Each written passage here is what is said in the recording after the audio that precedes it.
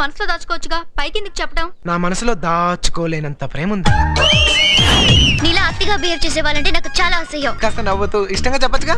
He I hate you but I love you